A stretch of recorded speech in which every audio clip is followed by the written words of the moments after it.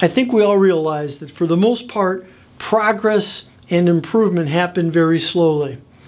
And much of what we're able to accomplish is due to our experience and our education, which directly informs our expectations.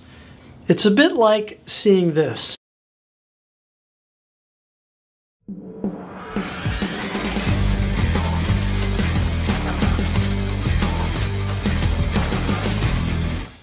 Now it's pretty obvious it says the man or the woman, yet if we look at the letters, we can see that the H and A are actually identical shapes, yet our expectations were so strong that our brains immediately saw what we expected, which is analogous to why we need to develop in ourselves the expectation that we're creative individuals.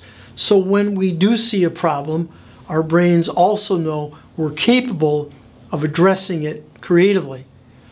Here's one way you can improve your creativity expectation. My friend Carl Nordgren taught entrepreneurship at Duke University for many years, and he'd have all of his students develop their thinking and their creativity over the semester by asking them to do at least one new thing every day and record it in a journal. Now, it could be trying a new type of food, or watching a different TV news station, or even taking a different way to school or to work. Michael Michalko, in his great book called Thinker Toys, wrote If you act like an idea person, you will become one. It is the intention and going through the motions of being creative that counts.